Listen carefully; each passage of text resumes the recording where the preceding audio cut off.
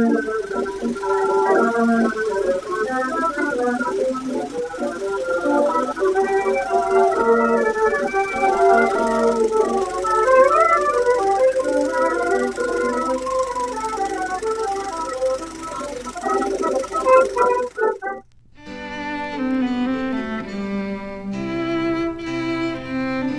Pripovijest o utemeljenju samostana Svetog Dominika u povijesnoj gradskoj jezgri i izgradnji stoimenem u crkve ujedno je preslik vremena u kojem Dubrovnik iz Patricijske komune stasa u Trgovačku republiku. Uloga ovog samostana nije bila tek ona duhovnog karaktera. On je već za 14. stoljeća služio kao važno uporište pri obrani. Ne čudi stoga odluka vlade iz 1301. kojom je ona odlučila novčano pod pomoći započetu izgradnju samostana i naredila da na njoj moraju raditi svi stanovnici jedne gradske četvrti, naglasivši da se taj samostan diže za spas, obranu i sigurnost čitavog grada Dubrovnika. Dominikanski samostan je najstariji postojeći samostan u Dubrovniku. Prije Dominikanaca bili su benediktinci, ali njih je nažalost nestalo već sa dolaskom Francuza. E, Dominikanci su stigli u Dubrovnik oko 1225. godine iz Bolonje. Svega devet godina nakon ustanovljenja reda.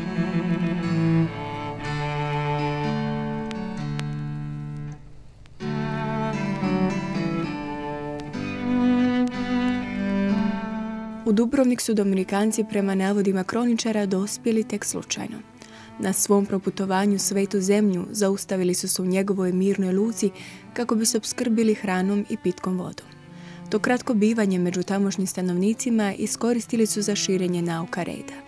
Dubrovčani su to objeručke prihvatili, te nedugo je uslijedio i prijedlog nadbiskupa Dubrovačkog da se ondje skrase. Isprva dodijeljena im je tek malena kuća na Pelinama i crkvica Svetog Jakova Pipunara gdje su obavljali bogoslužje. Kako se njihov broj neprestano povećavao, tako se je nametno problem širenja. U samom gradu zidinama nije bilo mjesta. Dominikancima je preskočila u pomoć plemička obitelj Palvotića koja je ovdje imala vrt. Cijelo područje istočno od ondašnjih zidina na sadašnjem prostoru našeg samostana, to je njihov vrt bio. Oni su ga dali Dominikancima s time jeli, da mogu napraviti komodno svoj samostan i sve što ih treba. I zaista Dominikanci su odmah od samog početka 14. stoljeća pa naprijed dali se na gradnju. Prva stvar što su izgradili to je bila crkva koja je građena od 1301. do 1315.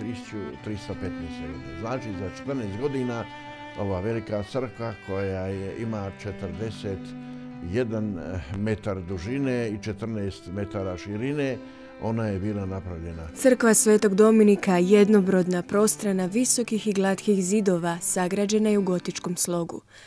Posrijedi je jedno najveće građevine ove vrste na istočnoj obali Jadrana. Nacrt je izradio Michelozzo di Bartolomeo, a gradnju su vodili Dubrovčani, primjerice Utešimović, Radomanović i Grubačević. Mada je nakon potresa 1667. zaživjela mnogobrojne pregradnje i preoblikovanja, uglavnom je zadržala svoj izvorni oblik. Od crkvenog inventara važno je spomenuti među ostalim oltarne oslike čiji autori su domaći majstori Kista i Djetla, Laho Bukovac, Ivo Dulčić, Ivan Meštrović i drugi.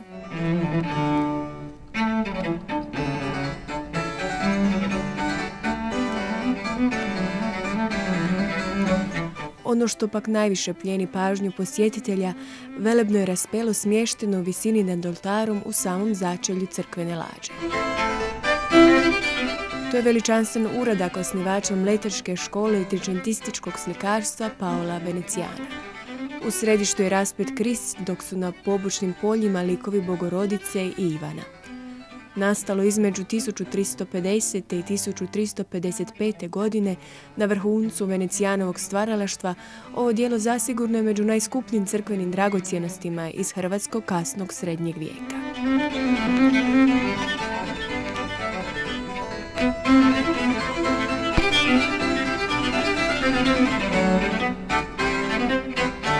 Gradilo se naravno kad je bilo novac, kad se moglo. Nakon toga sagrađena je sadašnja naš kapitul ili zbornica gdje su se redovnici sastajali, vijećali, donosili odluke, zajedničke odluke i riznica. To je negdje tamo polovica, prva polovica 15. stoljeća. Zadnji dio koji je bio sagrađen, to je ovaj dio u zapadnoj strani, gdje je sada naša blagovonica. E, iznad blagovnice je ovaj prvi kat gdje su naše sobe i onda kat naviše je bila sagrađena biblioteka koja i danas postoji. Tako da je samostan već eh, krajem 15. stoljeća dobio svoju konačnu formu. Mada stješteni gradskim mirima, stari majstori spretno su iskoristili svaki komadić slobodnog prostora stvarajući ovaj višenamjenski građevinski sklop. Zateknete li se u ovom komadiću mira, gdje vas od vreve svakodnevnice dijele tek samostanska vrata i drevan kamen, lako je utopiti se u slikama o redovnicima koji su ovuda kročili stoljećima ranije zaokupljeni molitvom i kontemplacijom o ovozemaljskom bivanju. Nekoliko pogleda gore u bogatoj knjižnici njihova braća, ali i običan puk proučavali su dijela najvećih umova pera. Dominikanci inače oni se bave knjigom i ovaj, jedna od važnih stvari koja je sastavni dio samostana je i biblioteka. Imamo podatke sačuvane u arhivu, u Dubrovničkom arhivu o gradnji te biblioteke. Građena je negdje od 1492. do 1505. neki dijelovi čak 1520. godine. I sačuvao se jedan vrlo zanimljiv dokument iz od 23. travnja 1501. godine kada vlada daje pomoć za gradnju od 300 perpera, a to je više manje svota koja se plaćala jednom liječniku, kirurgu za godinu dana njegova rada. Znači jedna lijepa svota. U toj odluci stoji 300 perpera ostavštine fra Dominika Restića Mihajlova namijenjenih našoj općini moraju su trošiti po dužnosnicima koje će imenovati naša država na molbu fratra rečenog samostana, jer će ta knjižnica biti na čast Božju i urez toga samostana i na utjehu kako svih naših građana, tako i stranaca koji u naš grad dolaze.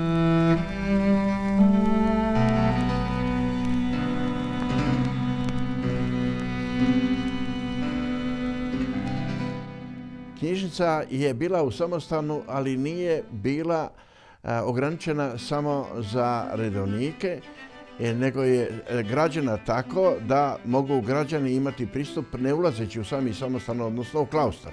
Ona je bila vrlo zanimljivo sagrađena. Orijentirana je od sjevera prema jugu. Sedam prozora s jedne strane, sedam prozora sa zapadne strane. Tako da se dobije maksimalno pasle dnevno svjetlo. Čim bi sunce izišlo, obasjavalo je sa, ovih, e, sa istočne strane. Kao i sunce prešlo sa zapadne strane, obasjavalo je s one strane i davalo maksimalno svjetlo, tako da se može raditi po cijeli dan unutra.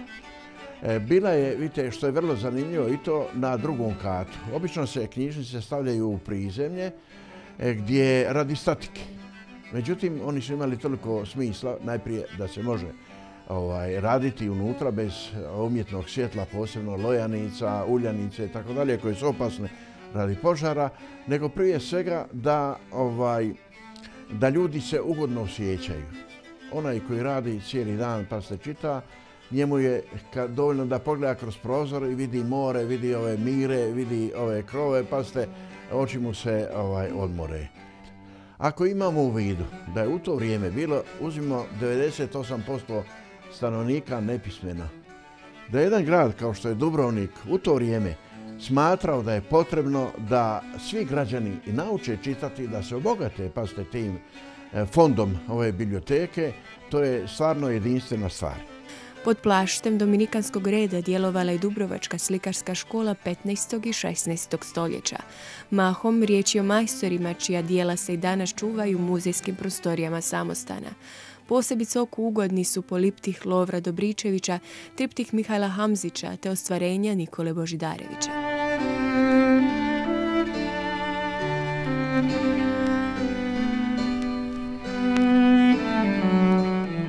...1573. godine, nakon završetka Tridijskog sabora, obavljena je prva vizitacija Dobrovačke nadbiskupije. Tom prilikom je napravljen detaljan popis svega što je u Dubrovniku bilo što se tiče sakranih objekata I ta dokumentacija se čuva u Vatikanskom arhivu.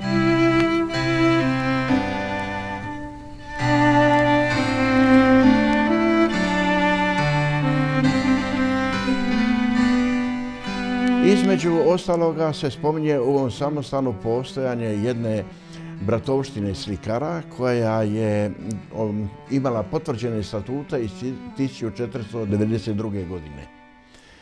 Ako se prebacimo u to vrijeme, Dubrovnik mali grad od 6 do 7 tisuća stanovnika, da on ima javnu biblioteku, da ima jednu bratovštinu slikara, to znači jednu radioncu, umjetničku radionicu koja je profesionalno pa ste izbacivala, ako što danas jedna tiskara izbacuje ovaj, knjige, tako su oni izbacivali umjetnička djela. I što su oni radili? Pa tako je bilo 10 do 20 članova te bratovštine, svaki od njih imao svoje zaduženje, mogao je živjeti od svojih pa od prodaje tih umjetnina. Pa evo ovo što se u našem ovaj, muzeju danas nalaze, po svojoj prilici od Božidarovića, od Hamzića i ostalih umjetnika, po svojoj prilici su baš jeli, ta dijela. Prema tome da je Doronik u to vrijeme bio pa ste u avangardi umjetnosti, u kulturi, ja mislim da to sličnih primjera u svijetu baš puno nema. Unutar samostanske zajednice djelovala je i ljekarna. Mi imamo imena ljekarnika, imamo sačuvane knjige kojima su oni služili, na nekima od njih piše na naslovnoj stranici da su na službi, pa ste ove, ove ljekarne. To znači da su ljekarnici bili učeni ljudi i činjenica je da su kod traženja tih ljudi morali ići u Italiju, skupo ih plaćati da bi ih doveli ovdje, jer o tome je ovisilo zdravlje građana, a time i njegov prosperitet. Jedan fratar iz ovoga samostana, Ignacija Kvilini se zvao, ili Orlić, on je napravio sve što na, u stihovima, sve što jednome normalnom čovjeku služi da zna o higijeni i o medicini. Tako da se u stihovima lako nauči i da ljudi to primjenjuju. Ondje je zarano stanovljeno i filozofsko-teološko učilište na kojem su najvišu naobrazbu stjecali brojni naraštaj redovnika, ali i ostali stanovnici Republike. A Dominikanski red je po svojoj vokaciji, po svojoj naravi, po svojoj strukturi, po poslanju je intelektualni red. On je od samoga početka izabrao Bolonju i Pariz za svoje sjedište, a ne Rim. Zbog toga što su tu postojala prva dva i najstarija, najpoznatija sveučilišta u Europi. I svi su redovnici morali završiti ovaj studij teologije. Već u ovom samostanu imamo vijesti u drugoj polovici 15. stoljeća da je bio studij, filozofsko-teološki studij. To je što se tiče redovnika. Imamo sačuvanih diploma, vrlo velikog, pa ste velikih dimenzija. Za građanstvo je 1626. godine bila osnovana i gimnazija e, koja je služila svim građanima koji su god imali interesa da nešto nauče i to jedina gimnazija uopće na hrvatskom području do kraja 19. stoljeća ili početka 20. stoljeća na kojem se predavalo ne na latinskom, nego na hrvatskom. Jedan od profesora te gimnazije, Rajmund Džamanjić, fratar iz ovoga samostana, on je za njih izradio i tiskao u Veneciji 1639. godine prvi hrvatski pravopis. To znači da su i na tom području pa ste bili po stoljećima ispred svih drugih gradova u Hrvatskoj. Slušavši njihovu povijest, neizbježno je zaključiti kako su Dominikanci u mnogo čemu prvi ispisali neke od najljepših stranica Dubrovačke povijesti.